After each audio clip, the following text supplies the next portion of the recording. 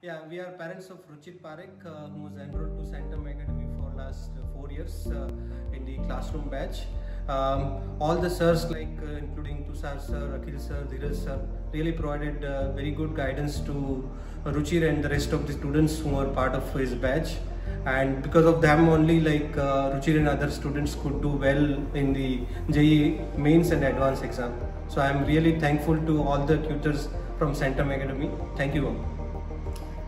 Like to say uh, values these teachers have is uh, very amazing and that inspires me. Uh, that inspires that inspired Ruchir Alam.